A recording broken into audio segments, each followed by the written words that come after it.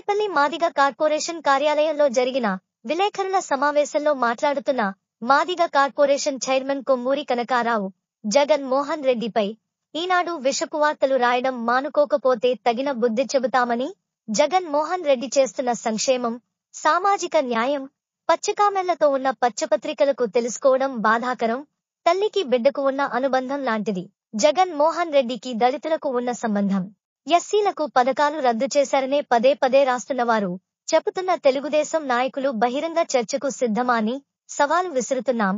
ఈ సమావేశంలో Relli corporation chairman Madhusudanarao Madiga corporation director BVR Mohan వికలాంగుల విభాగం కో ఆర్డినేటర్ దొండపాటి మధుకిరణ్ ముదిగొండ ప్రకాష్ పాల్గొన్నారు.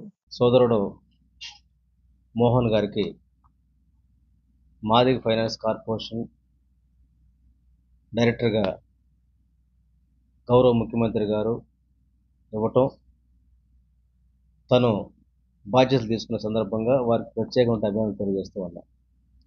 ఈ సందర్భంగా ఈరోజు ఒక పత్రికలో మీరెలా దళిత ఆత్మబంధువు జగన్ అని చెప్పేసి ఒక న్యూస్ రావటం జరిగింది. దీన్ని మేము తీవ్రంగా ఖండిస్తూ ఉన్నాం. ఈ విషయం మీద గౌరవ ముఖ్యమంత్రి దళితులకు ఆత్మబంధు ఎలా కాదో నిరూపించడానికి బహిరంగ వేదికకి సిద్ధం అని చెప్పేసి ఎవరైతే ఈ పత్రిక రాశారో వాళ్ళని మేము బహిరంగ సవాలు విసురుతా ఉన్నాం.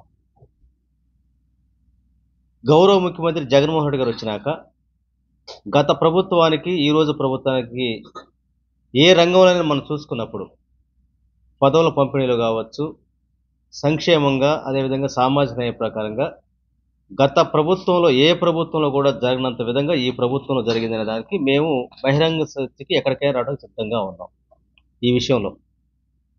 ఈరోజు ఐదుగురికి రాష్ట్రంలో కీలకటువంటి మంత్రివర్గంలో ఎస్సీలకు ఇచ్చినటువంటి చరిత్ర ఇంతకుముందు ఉందా అని చెప్పేసి టీడీ ప్రభుత్వంలో ఉందా అని అడుగుతా ఉన్నాం. అది ఈ పేపర్కి తెలియదని అడుగుతా ఉన్నాం.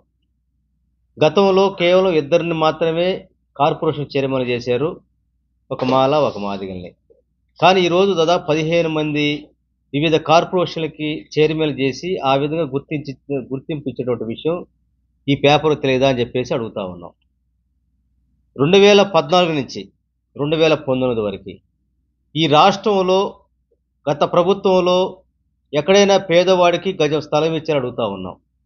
ఈ ప్రభుత్వం వచ్చినాక గౌరవ ముఖ్యమంత్రి గారు జగన్మోహన్ వచ్చినాక దాదాపు ముప్పై లక్షల మందికి పేదలకి ఇళ్ళ స్థలాలు ఇస్తే అందుట్లో ఎస్సీ లేరని అడుగుతా ఉన్నాం. అది మీకు వార్త కాదని అడుగుతా ఉన్నాం.